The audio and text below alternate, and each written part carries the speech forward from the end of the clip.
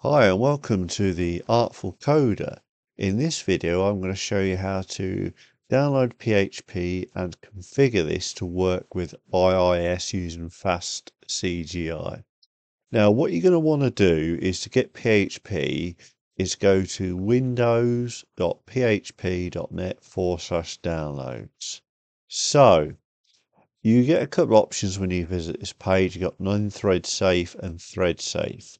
Now, there is a debate saying that should use either, but I think just go for the non-thread safe uh, for now. So we'll do a zip. That's going to download. And there's a few things we'll need to configure in IIS as well to get this to work. But it is a very useful little tool as well. So we've got that downloaded. So let's just do open. And this is what I've got here. So if we just do extract all, so use a standard Windows 11. What we're going to do is just for now, because I don't have a secondary drive set up, which I'd recommend installing sensitive secondary drive. So let's go to the root folder. Ideally, you'd want to put this in a different directory, but just for demonstration purposes. So what you want to do is let's let's just cancel. Let's extract here. There's a reason why, because if you extract the file with a file name, with you'll get like this extra PHP 8.2 and it's very messy on how you have to configure different PHP versions. So let's just do this for a minute and then I'll show you a better way to do this. So just going to extract this, going to put it in the downloads. And then what we got is we're going to want to copy. So this is PHP files. And what you'll see is this is what you'll need for IIS, which is PHP Fast uh, CGI. So if we do Control A, Control C, so these are shortcuts. Go to this PC, C drive, do right click, new folder, and call it PHP.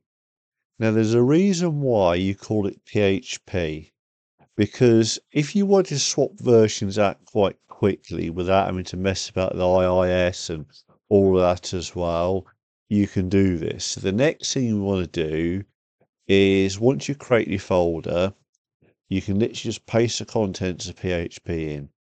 There you go. So PHP effectively is existing on the PC. So now what we need is a couple of things you need to do as well. So what we need to do next is we need to get IIS to see this. So if we go to IIS and go to server and we've got fast CGI settings. This is server level set server level setting. Add application. So what we're going to do is we're going to go down to here, do PHP, and you're looking for that.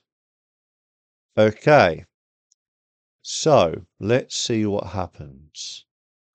So that's going to add to the CGI, and I think the arguments is, we'll play about this, dot P. No, it's not in here, excuse me. So click OK. That's now added PHP linked. It's not going to quite work yet. So what I just wanted to point out is I did that quite quickly is what you'll have to configure is the different options on here, like how long the query length is, how many instances, because in a growing system, you may have many instances. So it's case of just playing about with these. So the other thing you will need to do is if it's on here, where is it? Default document.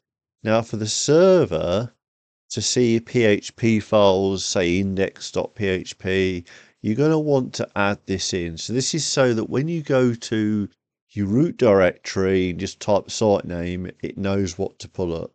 So what you're going to want to do is say index, type index.php. And that is now classed as a default document. So in theory, if you had that file in there, you could get it to go in. So the other thing we need to do is go to environment variables. And what we have to do is we have to go environment variables in here, path. Now what we're going to want to do is add to the path in here. So this is user. So that's logged in. So we do edit. And what you want to do is add a new directory. The reason for this is then the system can fully see PHP. So what we're going to do is we've got a PHP directory here. So copy this directory here. And then you want to add this as a new line in there. Now in your system, you it will now see PHP. So that's done that. You don't need to restart. So then what we've got here is we've got that figure there. Let's just see. Is it under here? Just got to remember. Ah, hang on, hang on. No, just remember. I think it's handler mappings. Here we go. So, I think it's a managed handler. Once I've done this, let's have a look. Type. No, I let's have a look. It's not one of those. I do apologise. Think it's a module mapping module. Here we go. So what you want to do is you want to go to handler mapping. So what this is going to do is this is going to say when I have a PHP file, whether you use redirect or anything like that, it's going to pass it over to PHP. Now it's important that you set a handler mapping up to do this. If we do star.php, you don't need to supply that because we've linked it in FastCGI and just call it PHP and request restrictions, so access. So there's different things here. So if it's a script execute, you'll have to play about those. But that means can it read? Can it write? Is it just execute only? Okay. Oh, should be an exe file. Oh, okay, it's going to want an exe file. So in theory, what we've got to do is point it, drop that down. So you have to do is let's do that. Okay. Yes, you do. There you go. So it's now done a fast CGI module of that. So it's disabled this one, which we played about with to get it to work. Lots of CGI module. So that, as far as I know, should be all we need to do. So what I'm going to do next is just to check this is working. This is from the previous video. Let's get a notepad file. Let's see, we'll test it now. So if you know, oh, okay, okay, notepad's loaded previous from there. So let's create a sample PHP. And let's just do this and do echo.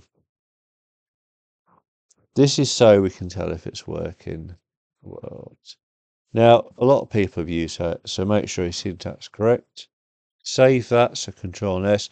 Because the C drive is protected, just put it somewhere where you can find it. So let's change the type to all and go to index.php.